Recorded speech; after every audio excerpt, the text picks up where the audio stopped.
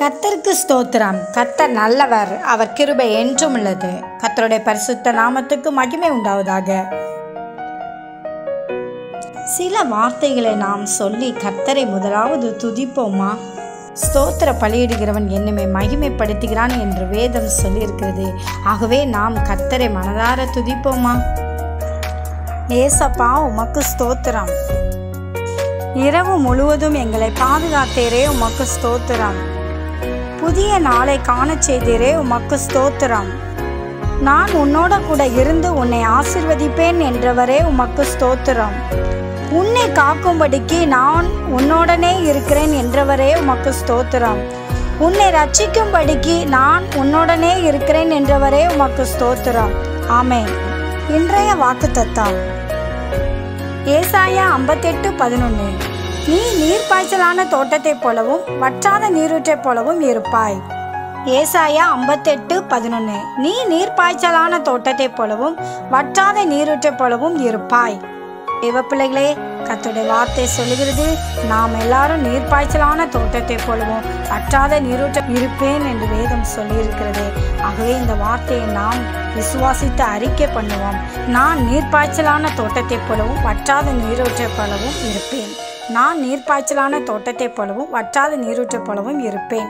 நான் நீர்ப்பாய்ச்சலான தோட்டத்தைப் போலவும் வற்றாத நீரூற்றைப் போலவும் நான் இருப்பேன். இப்படியாக நாம் அறிக்கை செய்யும்போது இந்த வசனத்தின் ஆசீர்வாதம் நமக்கு கிடைக்கும். ஆமென். இன்றைய நாளுக்கான வேத பாடம்.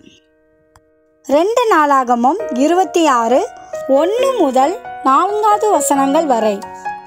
அப்பொழுது யூத ஜனங்கள் எல்லாரும் பதினாறு வயதான உசியாவை அழைத்து வந்து அவனை அவன் தகப்பனாகிய அமச்சியாவின் ஸ்தானத்தில் ராஜாவாக்கினார்கள்.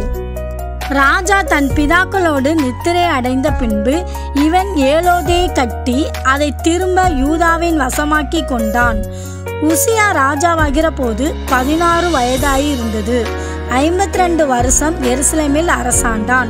எருசலேம் நகரத்தாலான அவன் தாயின் பேர் எக்கோலியால் அவன் தன் தகப்பனாகிய அமத் அமத்சியா செய்தபடியெல்லாம் கர்த்தரின் பார்வைக்கு செம்மையானதை செய்து.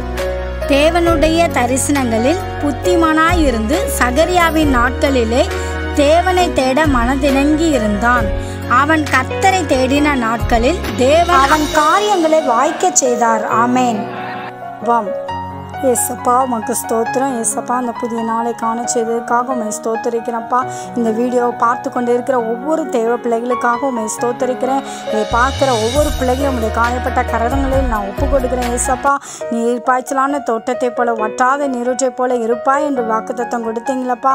அந்த வார்த்தையின்படி இதை பார்க்குற ஒவ்வொரு தேவ பிள்ளைகளையும் நீர் ஆசீர்வதிக்க வேண்டும்படியாக இயேசுவின் நாமத்தை நான் செபிக்கிறேன்ப்பா அவங்க வாழ்க்கையில் எல்லாவற்றிலும் ஒரு செழிப்பு இயேசுவின் நாமத்தில் உண்டாகட்டும்.